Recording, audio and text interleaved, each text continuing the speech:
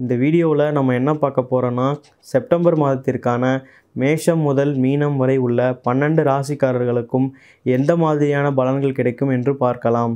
இந்த செப்டம்பர் மாதத்தில் கிரகங்களின் சஞ்சாரங்களை பார்த்தால் தமிழ் மாதங்கள் ஆவணி மாதம் பதினஞ்சு நாட்களும் புரட்டாசி மாதம் பதினஞ்சு நாட்களும் இணைந்த மாதம் செப்டம்பர் மாதம்.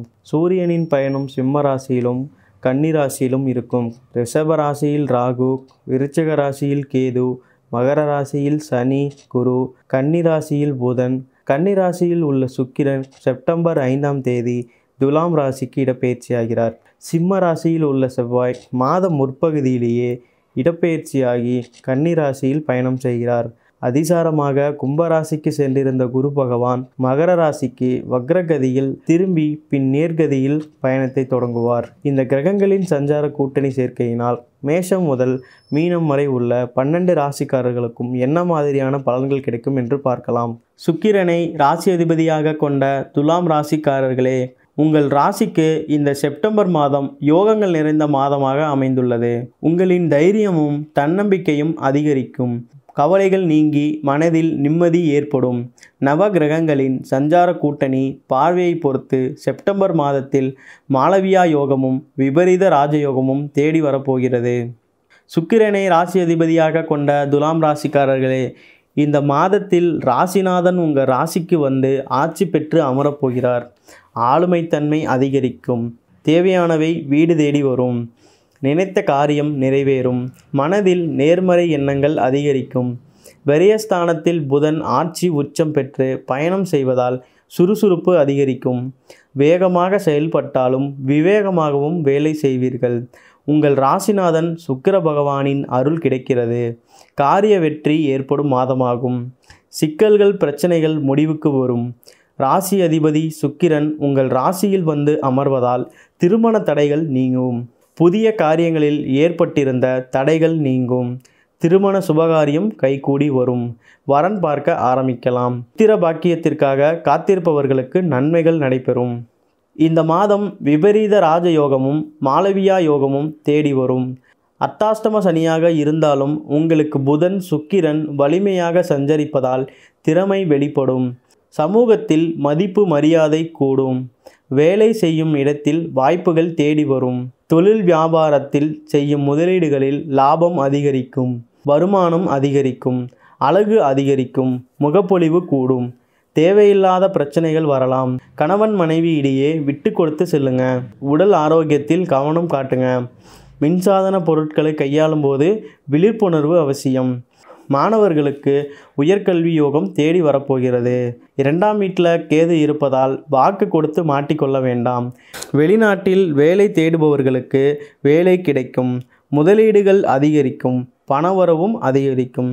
வண்டி வாகனம் வாங்க வேண்டும் என்று நினைப்பவர்களுக்கு வெற்றி கிடைக்கும். புதன் கிழமைகளில் பெருமாள் கோவிலுக்கு சென்று துளசி மாலை சாற்றி வணங்குங்க. துலாம் ராசிக்கு சிறப்பான பலாபலன்கள் ஏற்படும். குடும்பத்தில் அமைதி நிம்மதி ஏற்படும். குடும்பம் சார்ந்த சில முக்கிய பொறுப்புகள் செய்து முடிக்க வேண்டியிருக்கும். உடன் பிறந்தவர்களுடன் சில கருத்து வேறுபாடுகள் ஏற்பட வாய்ப்புள்ளது என்பதால் உங்களின் பேச்சு செயலில் நிதானம் தேவை. உங்களின் செலவுகள் அதிகரிக்கும். வீண் செலவுகளை குறைத்து கொண்டு சேமிப்பது அவசியம். பணியில் இருப்பவர்களுக்கு அவர்களின் தகுதிக்கு ஏற்ப பதவி உயர்வு சம்பள உயர்வு ஏற்படும். உங்களின் செலவுகள் அதிகரிக்கும். வீண் செலவுகளை குறைத்து கொண்டு சேமிப்பது அவசியம்.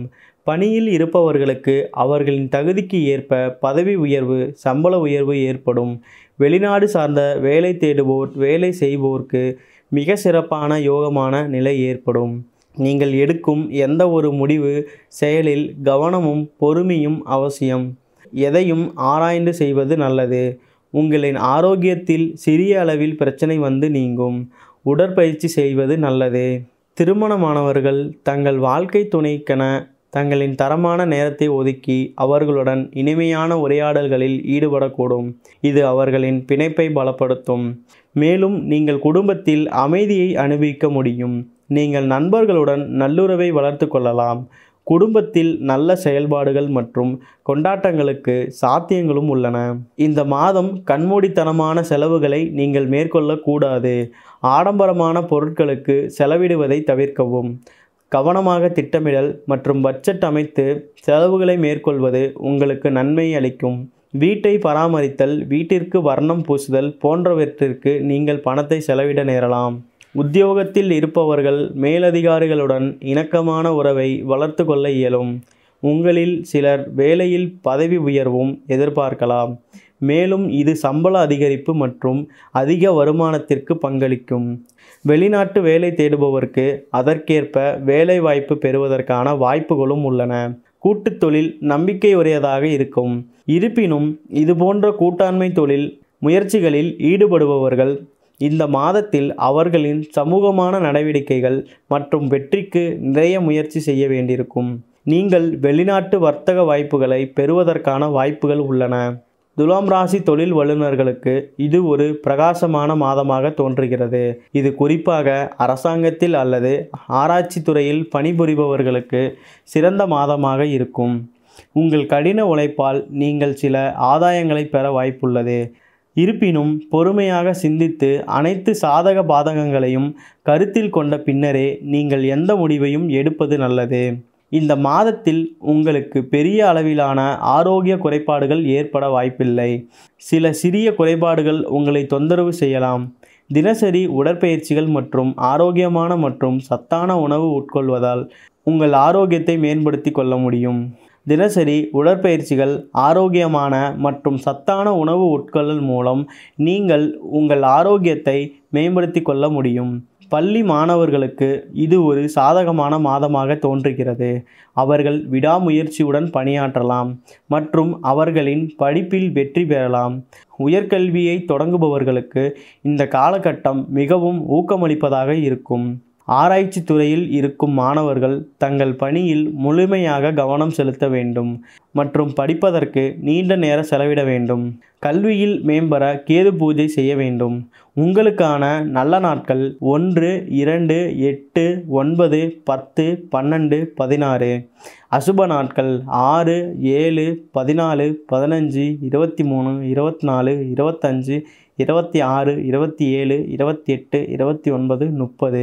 இந்த நாட்களில் கவனமாக இருப்பது நல்லது. நன்றி வணக்கம்.